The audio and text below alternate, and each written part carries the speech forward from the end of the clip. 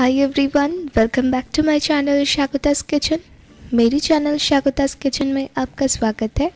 आज मैं बना रही हूँ सिर्फ़ 10 मिनट में ही बहुत ही क्विक और इजी मैंगो फ्रूटी जिसको आप घर में बहुत ही कम चीज़ों से बना सकते हैं। तो चलिए शुरू करते हैं। एक कप ले रही हूँ पानी। पानी को गर्म करेंगे। दो से तीन पिंच नमक। दो आम जिनको मैंने इस तरह से टुकड़े कर लिए हैं।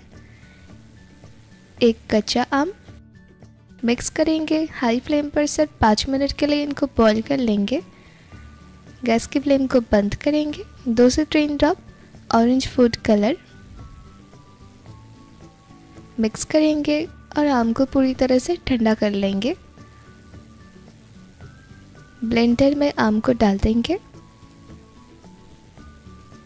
डेढ़ ग्लास दे रही हूँ ठंडा पानी। मैं इसमें कोई भी आइस का इस्तेमाल नहीं कर रही हूँ। तीन टेबलस्पून पिसी हुई चीनी, मीठा आप आपके टेस्ट के अकॉर्डिंग ऐड करें।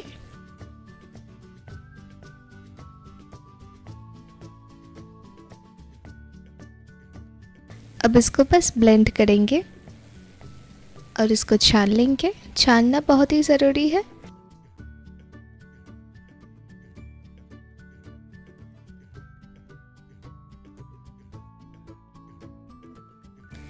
थोड़ा सा ही पानी मिक्स करेंगे और हमारी बहुत ही क्विक और इजी मैंगो फ्रूटी बन चुकी है।